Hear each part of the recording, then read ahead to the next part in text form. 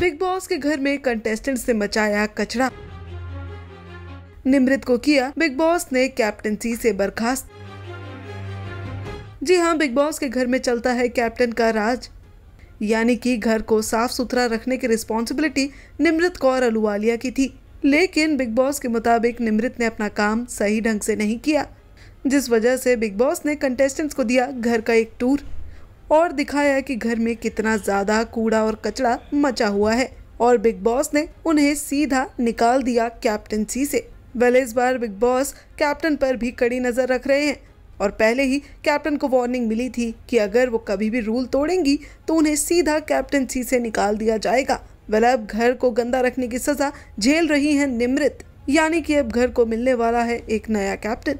Well इस पूरी update को लेकर आप क्या कुछ कहना चाहेंगे? हमें कमेंट के ज़रिए ज़रूर बताएँ। साथ ही टेलीविज़न से जुड़ी सभी लेटेस्ट अपडेट्स के लिए हमारे चैनल को सब्सक्राइब करना ना भूलें।